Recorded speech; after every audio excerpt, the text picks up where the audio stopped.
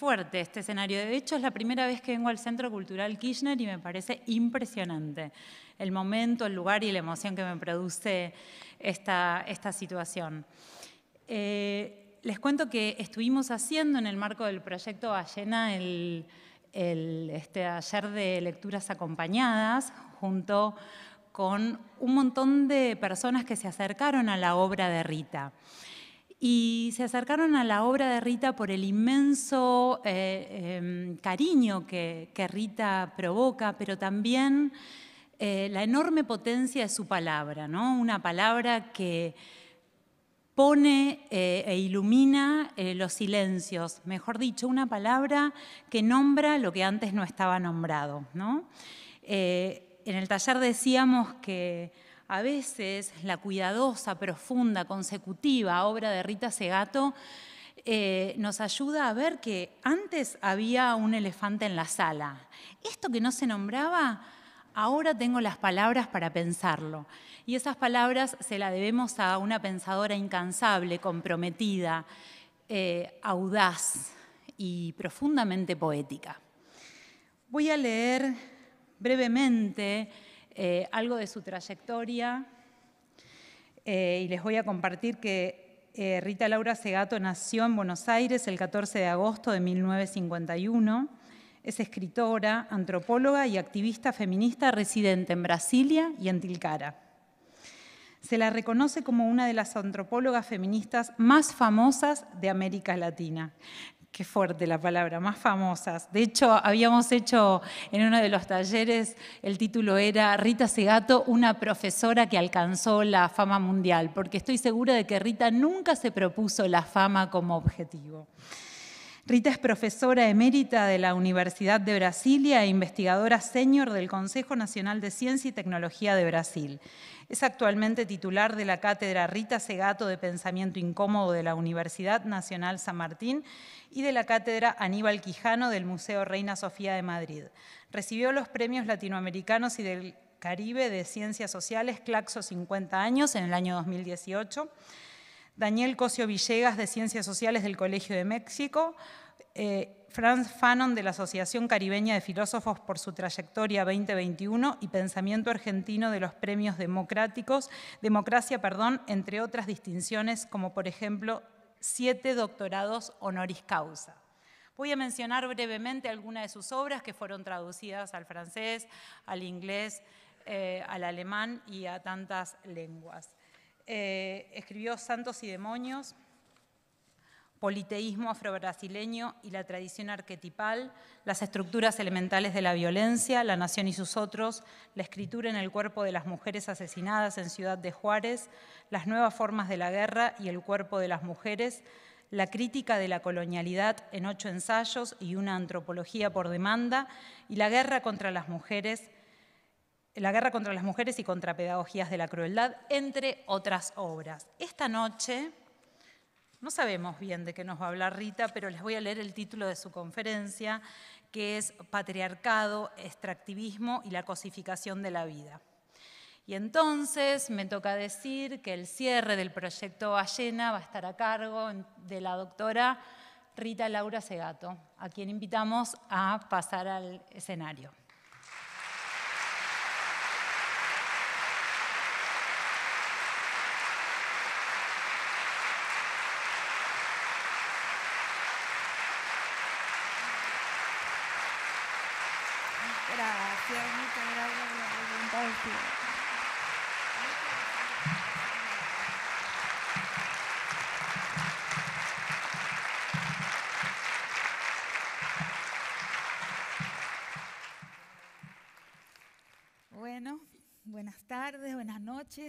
No canto, no toco instrumento, solo hablo. Espero eh, no decepcionar a este público en este lugar tan hermoso y tan significativo y sobre todo tan próximo de la más bella estatua de la ciudad de Buenos Aires, que es la de Juana Zurduy, de mi amigo Andrés Cerneri. Qué maravilloso monumento. Entonces, eh, preparé aquí una tres temas. No sé si voy a llegar al tercero. son tres porque son tres, tres cuestiones, tres cosas eh, de las cuales tenía ganas de hablar. No sé si ustedes saben que yo soy una gran admiradora de Elizabeth Costello, ¿no? el personaje de Coetzee, que invitada a hablar siempre hablaba sobre lo que se le daba la gana. Entonces, en este caso no pudo ser distinto y van a tener que tener un poquito de paciencia conmigo. Este, voy a tratar de tres temas que, que concentran mi atención en los últimos tiempos. Como dije, a lo mejor no llego porque no pude calcular bien el tiempo eh, que voy a tomar en el primer tema. Eh, ellos tienen que ver con política, religión y filosofía. Y culminan con una percepción más amplia del extractivismo y su precepto, que es la cosificación de la vida. Patriarcado, colonialidad, pedagogía de la crueldad, cosificación de la vida y extractivismo de la naturaleza y de los cuerpos de las mujeres son los elementos de lo que llamo la ecuación perfecta del poder. Ellos son, están articulados y encadenados en una red, en una ecuación que cuando la entendemos, yo yo creo que entendemos diversos aspectos eh, muy importantes de la realidad.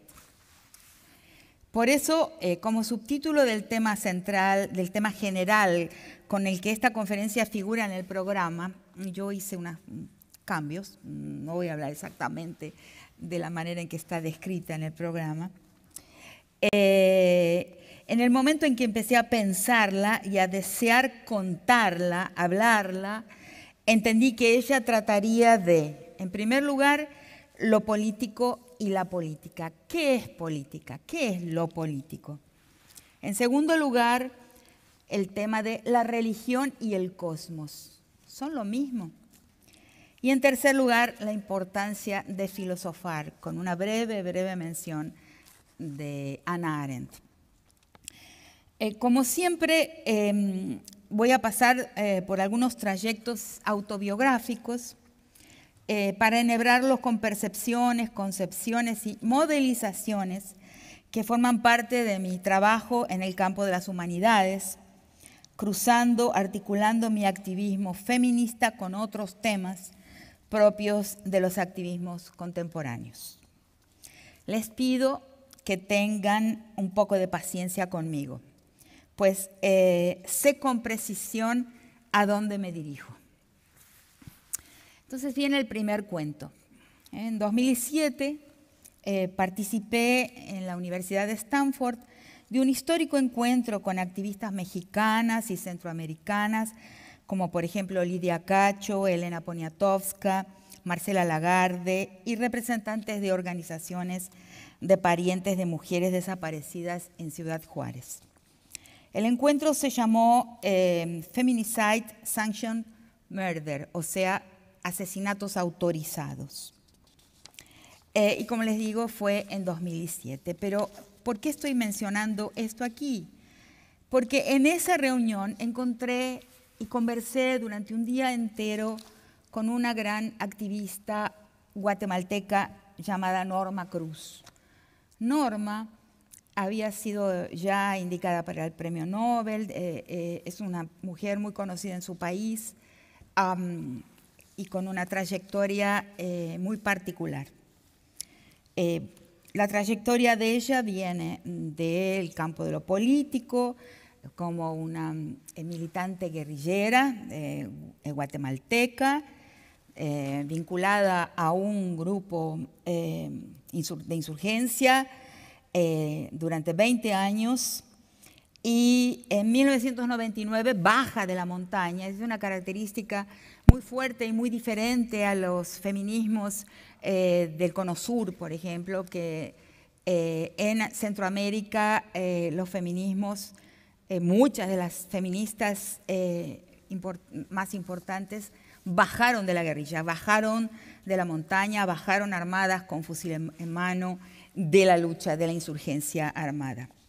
Este era el caso de Norma. En el momento en que baja en 1999, llega a su casa, eh, ella me, lo cuenta durante, es conocido, eh, puede encontrar su nombre en internet, en Google, pero claro, en un día en que pasamos juntas ahí en Stanford conversando y conversando, ella me cuenta eh, personalmente esta historia. Ella baja y encuentra en su casa a su marido, que es un activista de superficie, un, militante político de superficie, eh, eh, ex, em, ex, jesuita, em, también ex guerrillero, llamado Arnoldo Noriega. Eh, y, y, ella había dejado a su hija en, en la custodia de este marido. Entonces eh, eh, llega y encuentra, y en el momento de su llegada, su hija le dice que ha sido abusada y violada, su hija de 15 años, por su padrastro. Por su padrastro. Entonces eh, em, le relata esto y en el mismo instante de su retorno a la vida, a la vida, digamos, de superficie, a la vida ah, de esa democracia que se está comenzando en su país, en Guatemala. Eh, em, inmediatamente ella llama a la prensa, eh, llama hace una denuncia, llama a la policía y denuncia a su marido por violar a su hija durante todo el tiempo en que ella permaneció en la montaña, en la insurgencia. Y dice así, voy a leer una pequeña frase de ella. Dice, antes era activista de derechos humanos y viví de cerca el proceso de paz. Pero no me imaginé ni caí en la cuenta de los derechos de las mujeres ni la violencia que sufrían. Fue hasta que me tocó vivirlo personalmente que tomé conciencia de la realidad y de cómo esas víctimas del presente estaban sin ningún acompañamiento. Participé en proyectos de acompañamiento de víctimas del pasado, pero ahora conocer casos de violencia sexual, golpes y asesinatos es muy chocante, porque estamos en tiempos de paz. Bien, existen tiempos de paz ¿no? para las relaciones de género. Es una de las eh, eh, grandes preguntas del feminismo. ¿no? Entonces, en esa, en esa amistad que surge ahí, en esa larguísima conversación, Norma Cruz me habla por primera vez eh, no, eh, no que yo supiera de esto por primera vez, no que yo no hubiera oído hablar de esto, pero es la primera persona que conozco que me, que me cuenta de una amiga de ella, que es la nicaragüense Soy la América Narváez. Y que es imposible, es algo, eh, eh, em, digamos, inaceptable que el mundo, que nuestros países, que, que, las, que las feministas de nuestros países no sepan quién es Soy la América Narváez, que además su nombre, por una de esas grandes coincidencias, sincronicidades de la vida, se llama Soy la América. Es también sobrina nieta de Sandino. Eh, eh, y, entonces Norma me dice, cuando me pasa eso con mi hija, eh, recibo inmediatamente, después de que eso se hace público, una llamada telefónica de Soy la América, desde Costa Rica, que me dice, voy hasta donde vos estás y te voy a ayudar. Te voy a ayudar a vos y a tu hija a que denuncien. Em, y llega y conviven, se queda más de un mes con ellas, dándole apoyo en esta situación tan complicada. Alguna vez, diez, años antes, eh, una entera década antes, yo había oído mencionar esta historia de Soy la América, pero me había negado a leer la carta testimonio que Soy la América había divulgado en 1998 y tardé una década en aceptar leerla. Tal era mi lealtad a los ideales revolucionarios, que me negaba, con la excusa de siempre, a enfrentarme con la verdad del tema que me he decidido a traer ante ustedes hoy. Quizás eh, porque no podía entender que un gran líder revolucionario como Daniel Ortega había violado a su hijastra durante 20 años, desde que la niña tenía casi 11, desde que la niña tenía 10 años casi cumpliendo 11, hasta, eh, los, hasta los 30 años. Eso, eh, con mi formación, eh, con, el, em, con lo que caracterizó a mi generación, a las personas de mi generación que estuvieron dentro del campo crítico, no me parecía posible que un héroe de la insurgencia, de un héroe sandinista, de la gran eh, eh, guerra, batalla y victoria sandinista, hubiera podido eh, ser el practicante de gestos tan innobles en su vida íntima y particular. Entonces, hago esta autocrítica para explicar que entiendo de verdad nuestra recusa a colocar en su lugar las denuncias de acoso y abuso, de violencia misógina dirigidas a los personajes que pensamos que están de nuestro lado en la política, que pertenecen a lo que entendemos como el campo crítico o en lo que pensamos ser política, porque es ahí que me dirijo. ¿Qué es lo político? Y ese es mi tema hoy aquí. Mi tema aquí no es otro que ese mismo. El 19 de julio de 1980, en el primer aniversario de la victoria sandinista, me encontraba yo en Nicaragua, estuve ahí, en el primer aniversario, la gran fiesta, enviada por el programa de cooperación de la Venezuela de Carlos Andrés Pérez, el presidente ADECO del Partido de Acción Democrática de centro izquierda nacionalista de Venezuela, que apoyó la insurgencia sandinista. Y ahí me envió en mi institución para formar a aquellos jóvenes que iban a trabajar en las casas de cultura, que eran algo así como una eh, réplica de las casas de cultura en Cuba.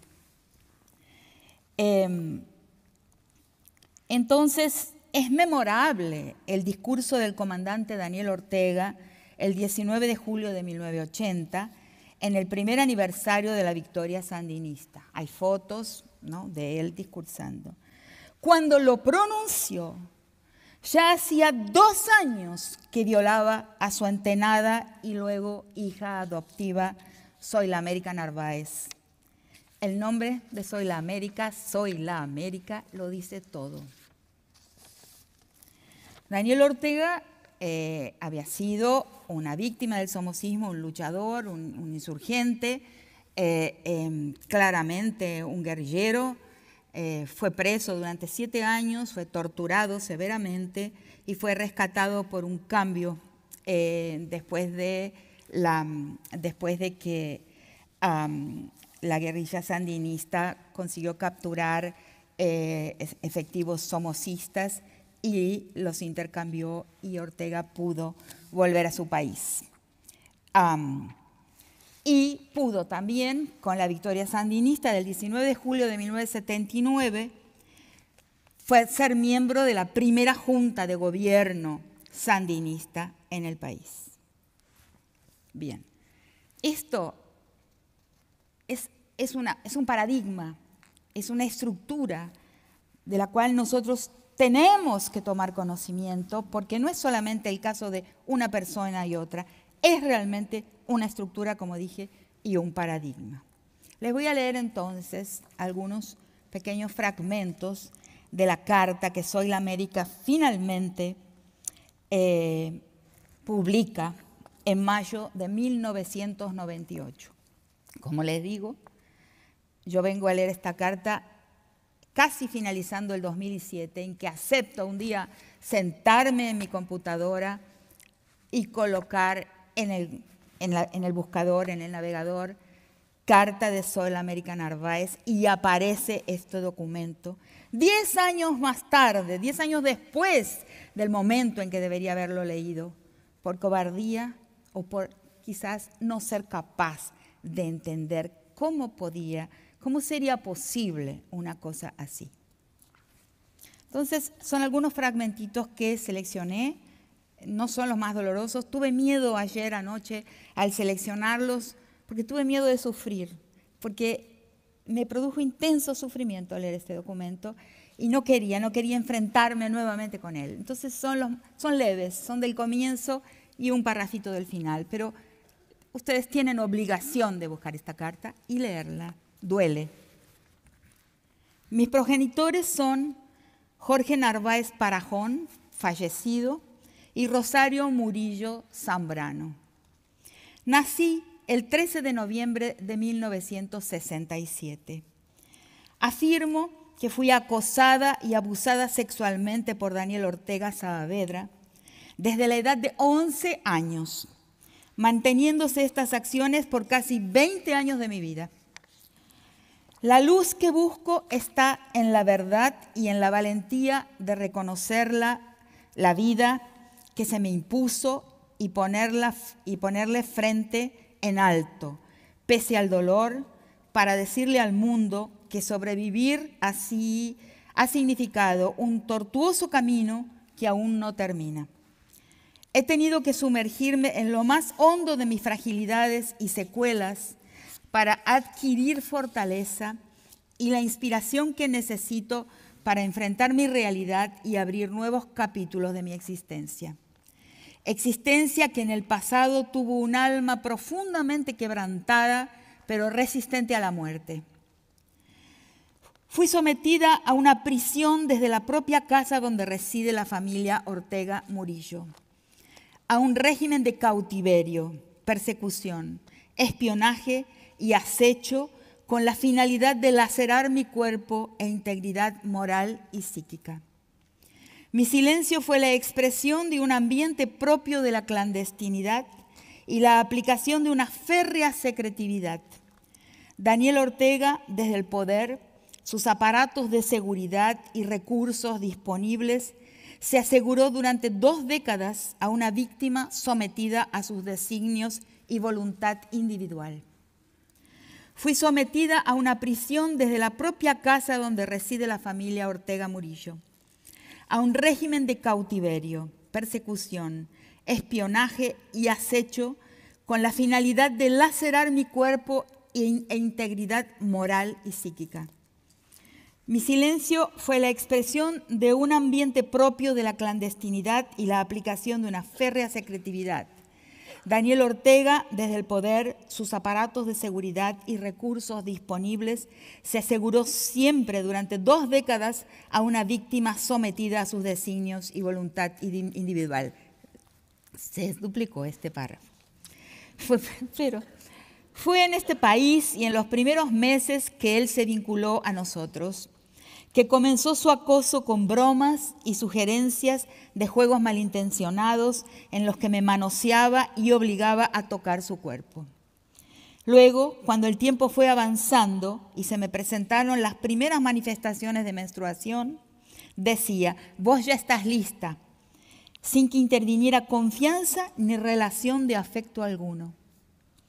Después me asaltaba sorpresivamente en lugares oscuros para tocarme y durante mis baños me espiaba por encima de la cortina, escondiendo mi ropa interior y bromeando con ellas. Algunas veces llegó a hacerlo en público. En muchas otras ocasiones amenazó con penetrar al baño, estando yo adentro, advirtiéndome de que probaría lo que era bueno. Y por ahí siguen, esto es lo más, lo más liviano de las 34 páginas que componen esta declaración y este, este testimonio. Son 34 páginas de infierno, 20 años de sujeción sexual y de todos los tipos. 34 eh, páginas escribí aquí de este testimonio detallado y escalofriante, nauseabundo y enfermante de los dichos y actos así llamados íntimos de un héroe revolucionario. Cuando finalmente Soy la América la publica, tiene 31 años. Y va concluyendo así. Hoy digo con mucha convicción que no puede llamarse amor al acoso de un hombre de 34 años sobre una niña de 11. No puede llamarse amor a la violación consumada en el acto y prácticas sexuales degradantes. No puede llamarse amor al acecho, a la persecución, al aislamiento, al espionaje, a la manipulación y al chantaje afectivo y político.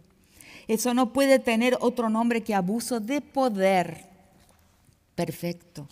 Basado en el sentimiento psicológico que inmoviliza al ser humano. Y hace notar, mis terapeutas no me recomendaron la medida de hacer una denuncia pública, sino que la emprendí sin el acompañamiento de las mismas. Por la envergadura del caso, debía ser yo misma la dueña absoluta de mi decisión final. Cuando, al retornar de mi encuentro con Norma Cruz, que me habla de su amiga Soy la América, Finalmente cobré coraje y busqué la carta de Soy la América en internet.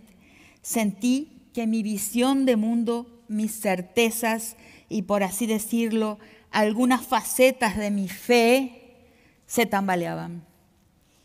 Habían pasado casi 10 años de su publicación y yo le había dado la espalda. También sentí vergüenza, quizás culpa también. Entonces, este es, eh, eh, hablar de esto es muy importante. Eh, he comunicado a varias amigas nicaragüenses que tengo y amigos que iba a mencionar el tema de Ortega y Soy la América y me lo agradecieron. No se entiende por qué no circula, no se entiende por qué un país como el nuestro, con un feminismo tan activo, tan importante, no, no abre los brazos para recibir esta, esta denuncia. Hay que entender, hay que entender por qué. ¿No?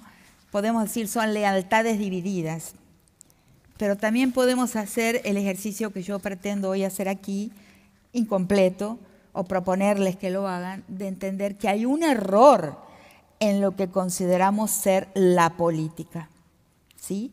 Y es posiblemente por ese error que nuestras revoluciones, aquellas revoluciones en las que tanto creímos, no llegan a destino. O sea, todas hasta hoy, Cuba, Nicaragua, Venezuela, mueren en la playa. Porque eh, tenemos, hemos defendido un punto ciego de la visión. Y ese punto ciego de la visión es el punto que un feminismo realmente revolucionario que pretende reorientar la historia hacia un futuro más benigno para más gente, que, pretende desbarrancar la desigualdad, que pretende acabar con un mundo estructurado por el poder, porque el patriarcado es la primera forma de poder que va a replicarse. No un feminismo que, de izquierda y de derecha, ¿no? que dice, ah, bueno, pero eso, bueno, es una cosa personal, de la intimidad, no.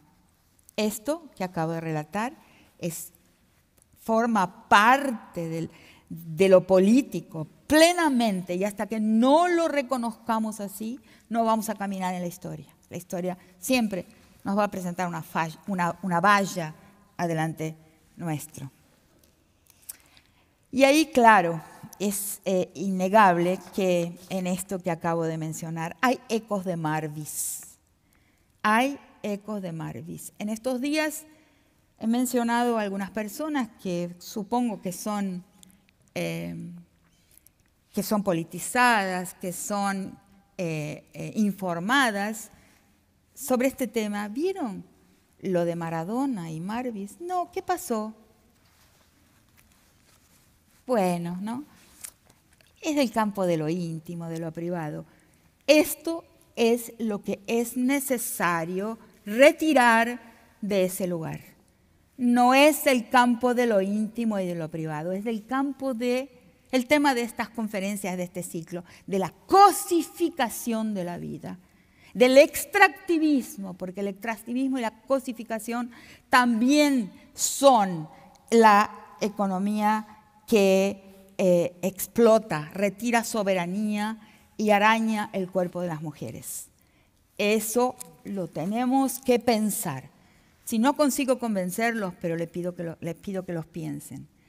Eh, eh, vimos por aquí en varios medios, que en tiempos pasados, en los tiempos en que me recusé a leer la carta de Soy la América, yo hubiera también recusado mirar y hubiera dicho, bueno, eso es porque intentan calumniar, esto porque intentan, son, eh, en fin, es una conspiración de los Estados Unidos para, para descalificar a nuestros héroes, las personas que consideramos con respeto por sus posiciones políticas. Hoy no pienso más así. Hoy pienso que una foto de un Fidel Castro con una niña en el medio y un gran héroe del fútbol entregándole a esa niña es una cuestión política y eso es lo que yo he venido hoy a defender aquí. Es un tema plenamente político y si no nos damos cuenta vamos a caminar en círculos todo el tiempo como hemos caminado en círculos hasta el presente. le entrega a una niña para que la consuma y así posiblemente pueda sentirse hombre, ¿no? Porque ese consumo de los cuerpos de mujeres es lo que construye la virilidad, lo que le hace al hombre mirarse un espejo, estar entre un grupo de amigos y decirse hombre.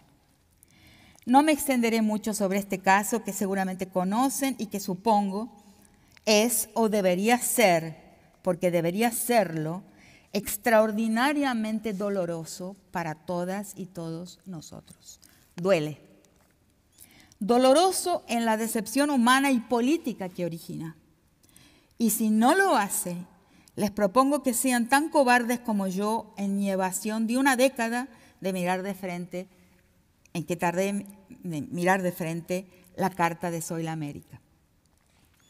Pero les aviso, un día la ficha cae y la escuchamos, la sentimos caer. No, no se trata de un escrúpulo moral, no es una crítica del campo de la moral, no es una crítica que en mi caso particular hago desde una posición de superioridad moral, de ninguna manera. Por ejemplo, en el caso de los candidatos eliminados de, elecciones en los Estados Unidos porque son adúlteros o porque tienen una relación extraconyugal. No es por ahí. No es un tema moral. Eh, es un tema ético-político. Lo moral es una cosa, es la lista de costumbres, el catálogo de costumbres que una sociedad, una civilización eh, afirma tener que observar, tener que obedecer. La ética y la política son otra cosa. Tengo un texto antiguo ya que se llama Antropología y Derechos Humanos el papel de la ética en la expansión de los derechos universales, en el que hablo de dos éticas, la ética insatisfecha y la ética conformista, reproductora de lo que existe. La ética insatisfecha siempre es una ética que mira y se inspira en el rostro del otro. Ese texto tiene una inspiración levinasiana.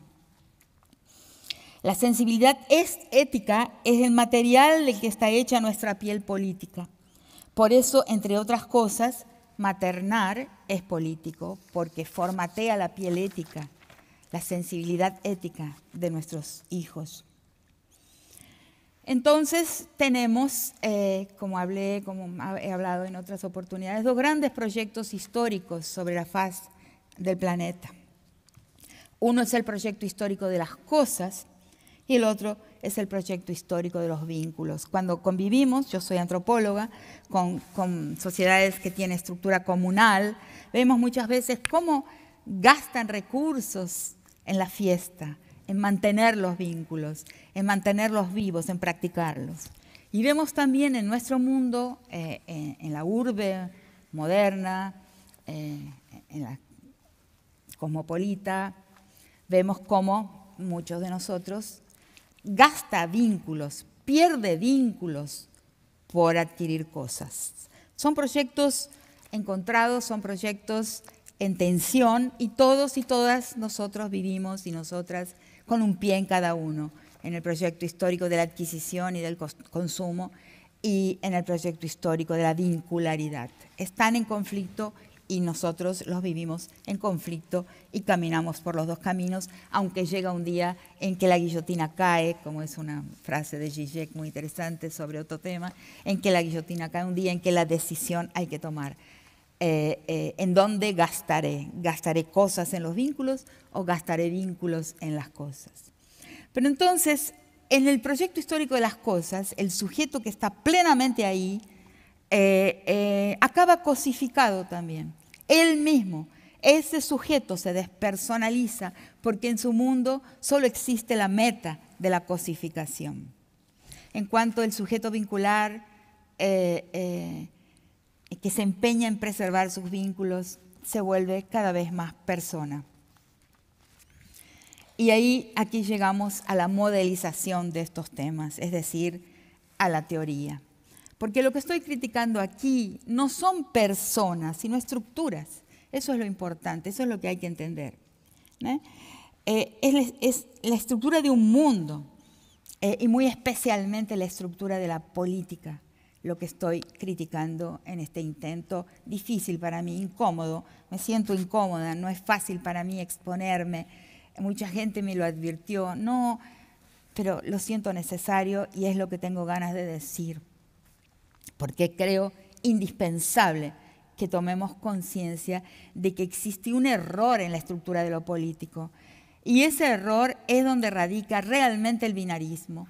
Porque inclusive dentro de las, eh, eh, del feminismo, de las filas del feminismo, muchas veces pensamos que el binarismo es hombre-mujer, masculino-femenino. Pero no es eso, el, el binarismo es mucho más que eso y es una estructura de la cognición, es una estructura del espacio político también. Es una estructura de mundo y muy especialmente la estructura de la, de la manera en que entendemos la política. El binarismo es cognitivo y afectivo y es distinto a la, dualidad. Eso lo he escrito en muchos textos en, en, los mundos comunales y todavía en algunos espacios entre nosotros y nosotras en nuestros países de América Latina, todavía existe eh, lo dual, ¿no? Lo dual es jerárquico, hombres, mujeres, eh, espacio público, espacio doméstico, pero, no, pero, pero no es binario, porque el, binarismo es una estructura del uno con sus otros, del uno, del sujeto universal y sus álteres, del uno y sus defectivos, el uno es el sujeto universal, ¿no? Eh, aquel que va a enunciar los temas em, de interés general, ¿no? Eh, eh, la, política, la, ciencia y tecnología, la economía, las relaciones internacionales. Esos son los temas del sujeto universal y de interés general. Y luego están los temas de las minorías, o sea, de las identidades políticas particulares, de interés parcial, de interés particular. Las mujeres, incluyendo la violencia contra nosotras, los negros, los indios, en fin, las sexualidades eh, divergentes, eh, no normativas, y todo ese círculo de álteres o de defectivos del sujeto universal que llamamos minorías. Esa estructura de la política tiene que cambiar, tiene que caer y ha sido un error de los movimientos sociales, un error eh, eh, respaldado por eh, el paradigma del multiculturalismo del norte, que nos ha llevado a pensar que pensar el mundo en términos de un sujeto universal y sus minorías era una gran cosa para defender a las minorías. Pero está equivocado. Y eso es lo que nos empuja y nos miente cuando pensamos que eh, delitos severos eh, eh, ejecutados, practicados contra las mujeres, son temas de interés particular. Y ahí de nuevo los reenviamos al campo de la, de la intimidad y de la particularidad y de la privacidad.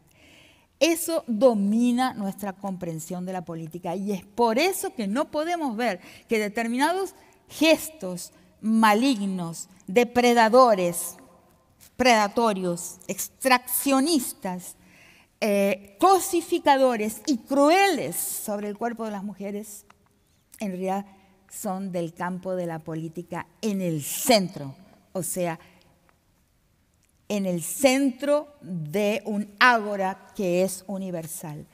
Tenemos una gran dificultad en destruir, en desconstruir esta falsa visión de lo político y de lo menos político.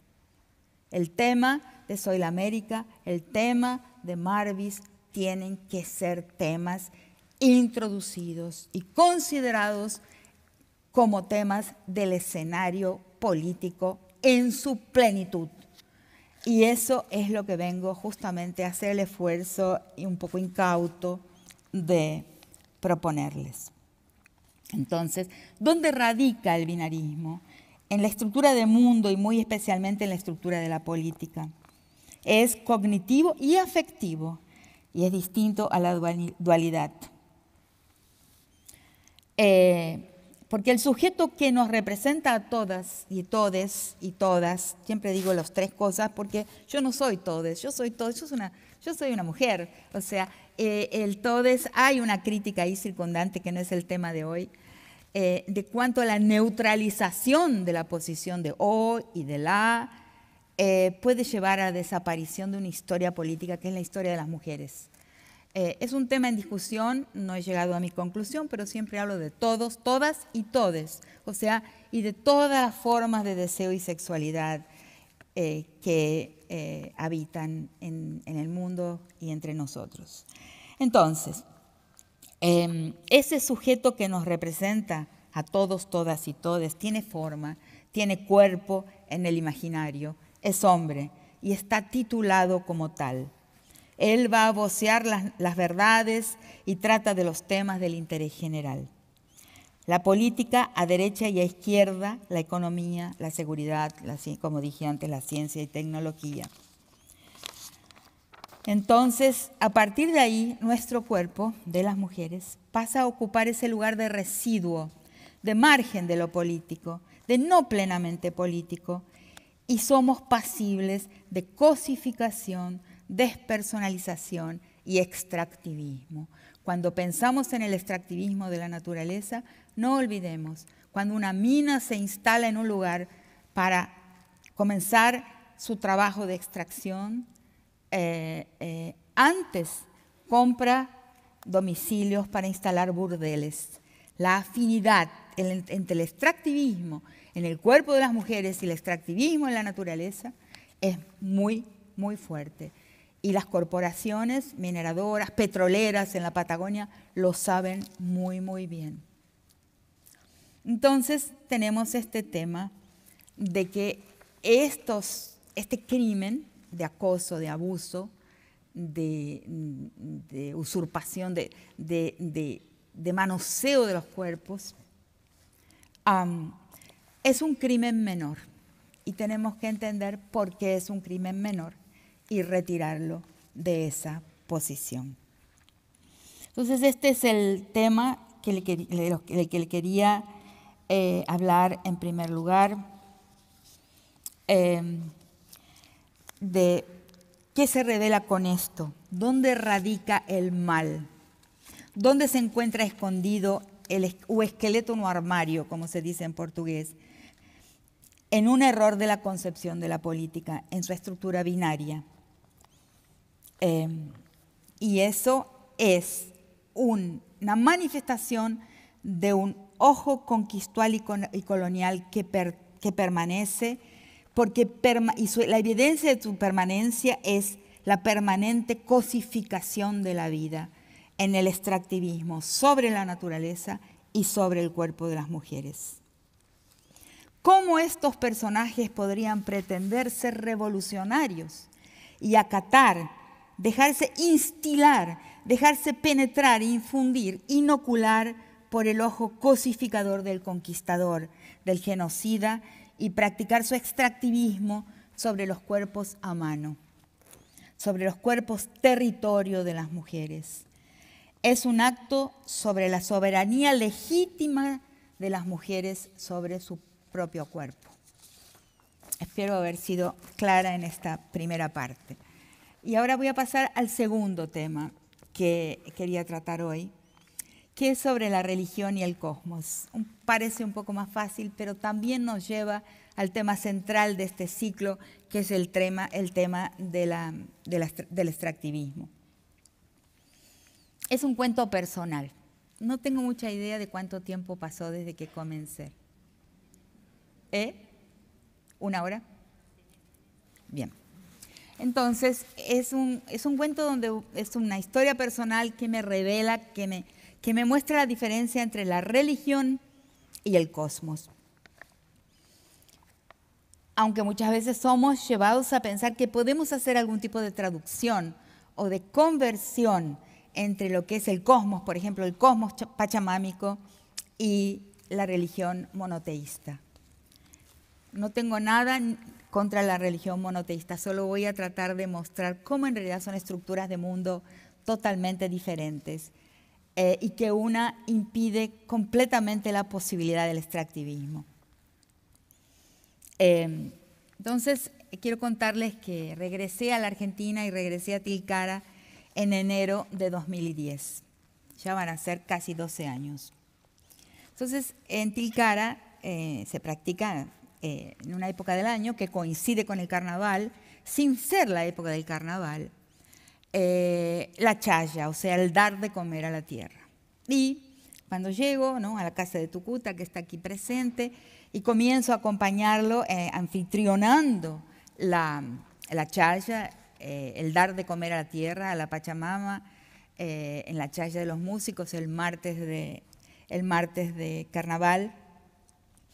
Lo hago durante un año, lo hago durante dos años y al tercer año me entran estas eh, dudas características de la sujeta occidental que busca coherencia y que no sabe entonces qué está haciendo ahí. Entonces, si la Pachamama es la Virgen María, si Inti es el Dios creador todopoderoso del cielo y la tierra, es lo mismo, entonces es lo mismo, pero con otros gestos, con otros rituales, pero es la misma cosa. Empecé y eh, eh, experimenté un enorme y perturbador conflicto eh, por pensar entonces que me estaba engañando a mí misma y que todo aquello era en realidad una reproducción de lo mismo, pero con otros rituales. Entonces me sentí muy mal eh, eh, y decidí no participar más de aquel evento, de aquella fiesta, y tuve un sueño. Esta parte es un poco más agradable y divertida que la anterior. También la digo con más placer.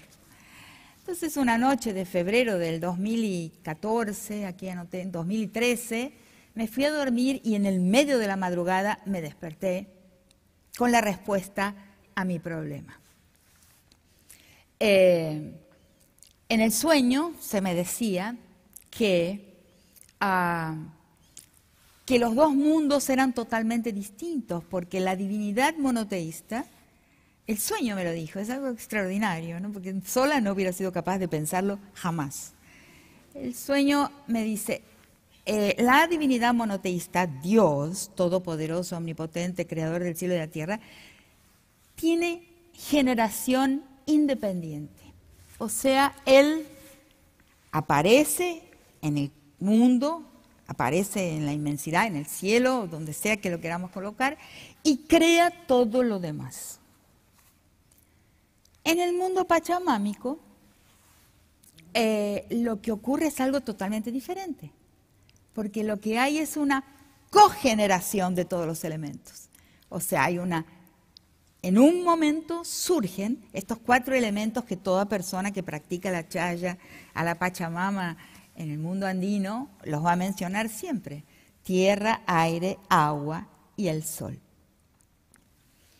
Este, y esos cuatro elementos ocurren, se generan simultáneamente en la creación del cosmos por lo tanto, no tienen una generación independiente como el Dios monoteísta, sino una gestación codependiente. Entonces, cuando me despierto, empiezo a, pensar en estos dos dichos de mi sueño, generación independiente, codependiente, claro, dan orígenes a mundos totalmente diferentes.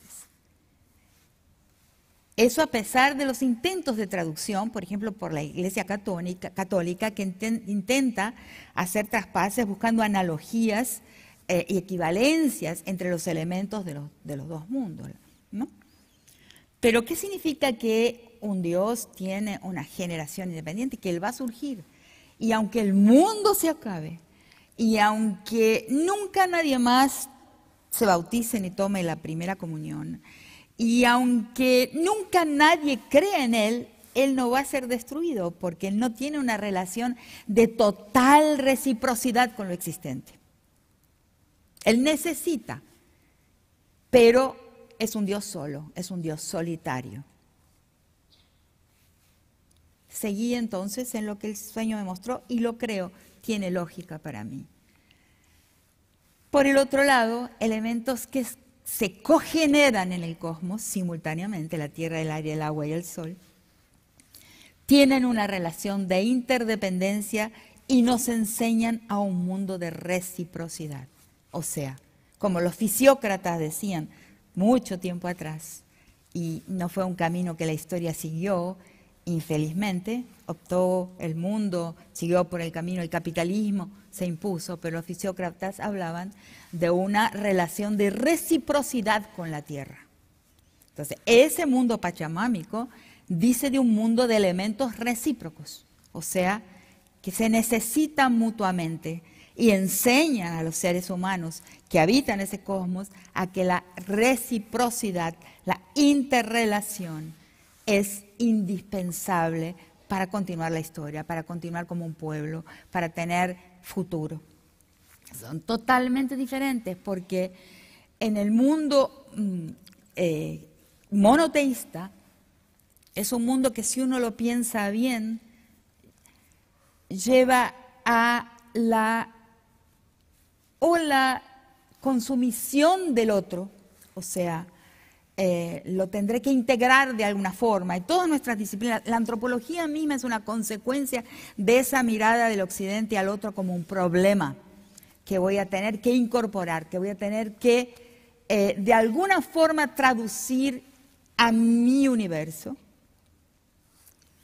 eh, o voy a tener que destruirlo. El otro es problemático para el occidente es problemático para el monoteísmo y lo vemos en los infinitos gestos de la iglesia y de las otras iglesias también, es un tema muy complejo como tratarlo hoy, pero vemos en los infinitos eh, esfuerzos para lidiar con la cuestión del otro.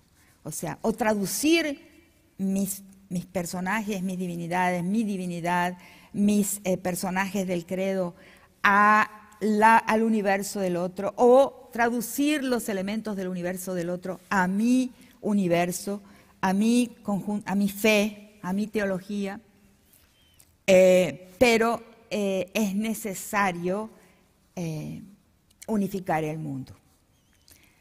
En el lado del cosmos pachamámico, no, no es necesario.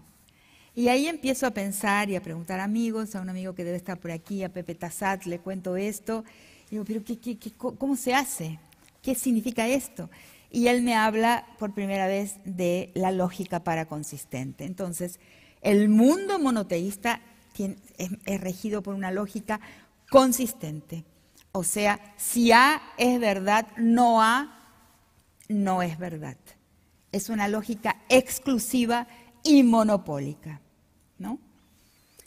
Eh, lo que no se rinde a ese monopolio de un solo Dios, una sola verdad, una única forma del bien e inclusive una única forma de belleza, lo que no se entrega y lo que no se rinde es un problema, es una piedra en el zapato. Tendrá que ser o deglutido o tendrá que ser eliminado. Allá en el fin del camino el monoteísmo está profundamente vinculado al genocidio. Del lado de los pueblos no es así, porque la lógica es para consistente. A es verdad y no A también puede serlo. Y es por eso que vemos la grandeza y capacidad de resistencia y sobrevivencia eh, a 500 años de masacre por parte de los pueblos eh, eh, originarios, porque su lógica les permite creer en A y también creer en no A. Ahí existe una superioridad. No hay un monopolio ni del bien, ni de la verdad, ni de la divinidad. Vemos, y eso lo he visto como antropólogo en una cantidad de pueblos, eh, y sobre todo el pueblo con el que conviví muchísimos años en el mundo afro-brasilero, en Brasil, eh, que la iniciación en la vida del candomblé pasa por visitar una iglesia también, o siete iglesias.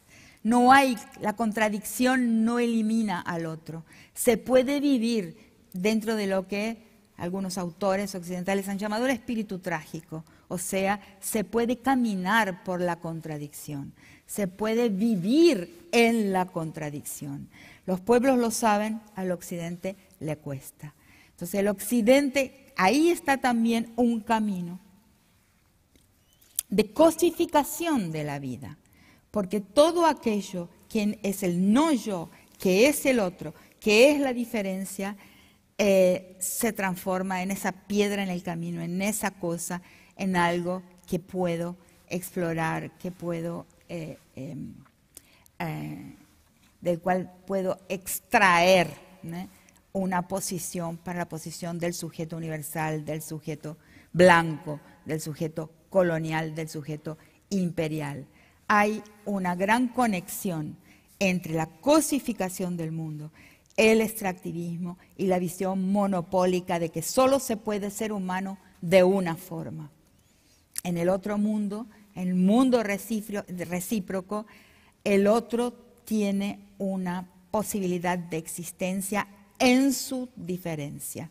Ahí tenemos otra cuestión que me parece que tal como la, política y los errores de la estructura del mundo, de la política como la conocemos, y también de la estructura del, sujeto monopólico de la verdad eh, em, que va a manipular el mundo a partir y lo va a digerir, lo va, lo va a consumir a partir de su verdad, tenemos un segundo caso eh, de problema de la forma en que vemos la realidad. El tercer punto que quería comentarles hoy eh, y que me ha llamado la atención y sobre el que he trabajado en los últimos tiempos es el problema eh, que quizás no estamos viendo eh, como deberíamos verlo porque es importantísimo para defendernos, que es el tema del absoluto, del absoluto declinio, de la falencia del discurso moral, de la absoluta eh, caída y capacidad de convencimiento de el argumento moral del argumento beneficente em, de la razón humanitaria. Eh, y esto es real. Y esto debemos entenderlo eh, eh, como un tiempo sorprendente, o sea, como una fase de la historia sorprendente y de retorno ¿no? a lo que Ana Arendt localizó en los orígenes del totalitarismo. Estamos en un momento de gran riesgo frente a esa falencia del argumento moral, a esa época del sábese quien pueda. Porque estamos pensando, como y seré muy breve en esta parte, que eh, eh, los ejemplos son innumerables, ¿no? Eh, desde el más clásico de todos, que es la Christine Lagarde del FMI, cuando, no fue ella misma, pero cuando el FMI que ella dirigía eh, eh, colocó el hecho de la longevidad como un riesgo para la economía. O sea, ahí vemos algo que se dice que pasa a ser dicho, que pasa a ser explicitado y que fue sorprendente. También eh, presidentes como Trump, como Bolsonaro mismo, que explicitan su, su, racismo y su, y su misoginia. ¿Qué está pasando? Que de repente aquello que no podía ser dicho, con toda la fase multicultural, lo políticamente correcto, había cosas que no es que nadie las pensaba, no, es que no había quien las pensase, pero no podían ser explicitadas. No se podía decir sí soy racista, sí los negros son inferiores, sí las mujeres deben ser violadas. Y hemos visto presidentes que lo han dicho y que lo dicen. ¿Qué es eso? Eso es lo que estoy llamando un momento histórico de, em, falencia eh, de la razón humanitaria, de falencia del argumento moral. Y hay una cierta confusión del lado del campo crítico, del lado de las izquierdas. Hay algo que no estamos sabiendo entender muy bien y para entenderlo y de una forma breve es necesario retornar a Hannah Arendt. Eh, Hannah Arendt en Las orígenes del totalitarismo y también en otro texto que después ella va, a incluir en su texto final, en su, segunda edición de Los orígenes del totalitarismo, eh, que es Ideología y Terror, una nueva forma de gobierno, que es de 1953 ella va, y a mí también me costó entenderlo, me costó aceptar esto, hablar de ideología de una forma muy distinta a la manera en que los marxistas o aquellas personas de formación marxista hablamos de ideología. Hemos aprendido la noción de ideología como falsa conciencia. En los textos de Anna Arendt, la, definición de ideología es totalmente otra. Ella va a hablar de dos maneras de, dos conjuntos de valores, dos eh, eh, elencos, listas de valores que ella va a, va a atribuir al stalinismo y al nazismo, porque muchas veces se piensa en que sus orígenes del totalitarismo solo habla del nazismo, pero habla también del stalinismo. Entonces dice eh, em, que estas dos grandes doctrinas y formas de totalitario, de totalitarismo, eh, tienen una certeza sobre la estructura de la historia. Yo creo que es eso lo que nosotros estamos viendo en nuestros países y en el mundo, no en nuestros países, en el mundo entero en este momento. Tienen certezas sobre cuál es la estructura de la historia. En el, eh, em, en el caso del nazismo podríamos llamarles de un darwinismo moral, o sea, el que no puede soportar eh, eh, y muere, tiene que morir. A eso le llamo la falencia del discurso beneficente o el del discurso moral o el de la razón humanitaria. Quien muere tiene que morir. Cuando ven los, los discursos, por ejemplo, de Bolsonaro o mismo de otros eh, políticos más próximos de nuestro, en nuestro país, de la absoluta falta de sensibilidad frente a la fragilidad de algunos frente a la posibilidad de la muerte, la inminencia de la muerte por aquellos más desprotegidos. En realidad no hay, como lo pensábamos hasta hace muy poco tiempo, eh, el mal, o sea, los buenos y los malos. Hay dos convicciones, hay dos ideologías en el lenguaje de Anna Arendt, hay dos listas de formas del bien. Eh, eh, la forma del bien beneficente que es solamente un conjunto de creencias. Es tremendo porque es necesario verlo así. Y del otro lado, la convicción del derecho del más fuerte a permanecer vivo. Entonces, estamos en un momento muy semejante a aquel descrito por Ana Arendt para los primordios del totalitarismo. Ella decía así, en el mundo del estalinismo, la relación, la, lucha de clases es la estructura de la historia. Quien está del lado equivocado debe perecer. En el, caso del nazismo, la sobrevivencia del más fuerte, el darwinismo social, o sea, el derecho del más fuerte sobre el más débil, el derecho del vencedor sobre el vencido, es una ley, es moral, no es no moral, es la otra moral.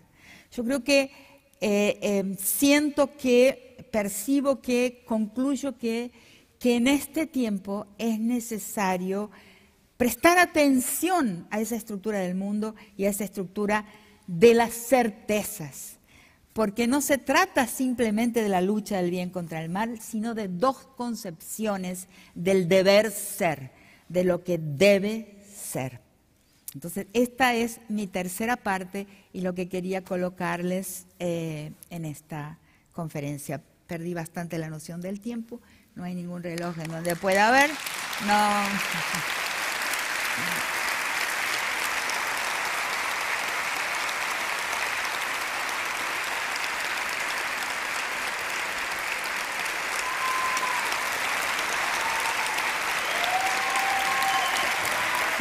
Ay, entonces le gusta. Entonces les gustó.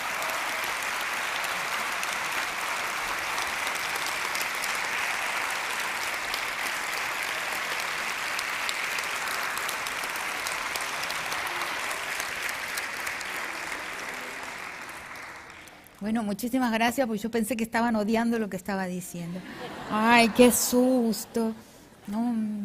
Bueno, con esto entonces yo había propuesto que hubieran preguntas, que pudiéramos conversar un poco, ¿no? Porque esto de pensar en conversación es lo más estimulante, es lo más lindo. Yo no, lo que les expuse inclusive son cartas sobre la mesa, o sea, cartas para considerar, no certeza, y mucho menos eh, la certeza moral. Detesto la, la plataforma de la certeza moral. Y eso lo aprendí de un autor, sé hasta el número de la página donde lo leí por primera vez, que es Edward Said en su libro Imperialismo y Cultura, cuando dice que el poder imperial no se basa. Cita a un autor, cita a un, cita a un autor que en realidad fue un administrador colonial británico en la India. Y este administrador británico en la India dice, lo que permite colonizar, lo que permite dominar un pueblo, no es ni la superioridad tecnológica, ni la superioridad eh, eh, intelectual, ni la superioridad eh, bélica, etcétera, del pueblo que va a dominarlo, sino la superioridad moral. Cuando leí esto me di cuenta de que cualquier gesto de superioridad moral sobre los otros es un error y es un error y es una pretensión de poder. Entonces no es desde esa posición que, hablé y que jamás hablo, inclusive hablé con, con miedo también por lo que iba a decir, pero sí como una advertencia de tres temas en los que debemos pensar, en los que debemos pensar y sobre los cuales debemos dudar de nuestras certezas, ¿no? Mirarnos en el espejito, espejito de la reina mala, que al final es un instrumento, es un utensilio de la reina en los cuentos de hadas. O sea, las humanidades tienen ese papel. Las humanidades le ofrecen al mundo y a la gente ese espejo, espejo de la reina mala que muestra cuáles son los puntos ciegos del pensamiento eh, de una sociedad.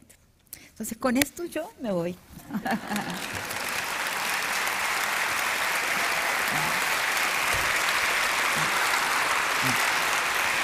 No me quiero caer al suelo. No, no me voy a caer, no me voy a... Parece que les gustó, ¿no?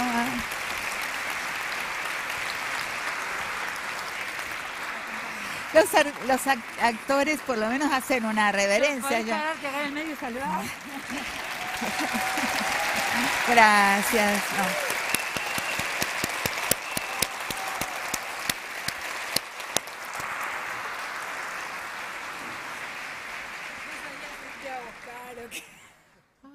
que no les estaba.